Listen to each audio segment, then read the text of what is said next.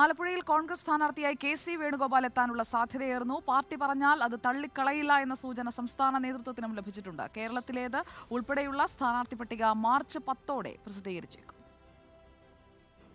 ആലപ്പുഴയിൽ K C വേണുഗോപാലിന്റെ സ്ഥാനാർത്ഥിത്വം ഉറപ്പാക്കുന്നതിലേക്ക് ചില ഘടകങ്ങളുണ്ട്.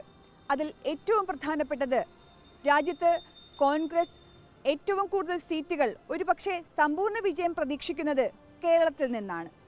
അങ്ങനെയെങ്കിൽ അവിടെ കെ സി വേണുഗോപാലിനെ പോലെ മുതിർന്ന ഒരു നേതാവിന്റെ സാന്നിധ്യം അനിവാര്യവുമാണ്.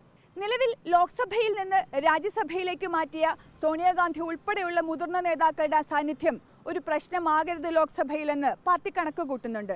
ആ സാഹചര്യത്തിൽ കെ സി വേണുഗോപാലിനെ പോലെ മുതിർന്ന ഒരു നേതാവ് അനിവാര്യവുമാണ്. ഇത്തവണയും ഇന്ത്യ പിടിക്കാമെന്ന ശുഭപ്രതീക്ഷയില്ല കോൺഗ്രസിന് എന്നാൽ കഴിഞ്ഞ തവണത്തേക്കാൾ നില മെച്ചപ്പെടുത്താനാകുമെന്നുള്ള പ്രതീക്ഷയുമുണ്ട്. ഇന്ത്യ മുന്നണി പോലും പല വഴിക്കായ സാഹചര്യത്തിൽ നേതൃത്വത്തിന്റെ അഭാവം ലോക്സഭയിൽ ഉണ്ടാകരുതെന്ന കണക്കുകൂട്ടലുണ്ട് നേതൃത്വത്തിന്. കേരളം പിടിക്കാൻ വൻനിരയെ ഇറക്കാനും സംസ്ഥാന ദേശീയ നേതൃത്വങ്ങളെ പ്രേരിപ്പിക്കുന്നത് മറ്റൊന്നല്ല.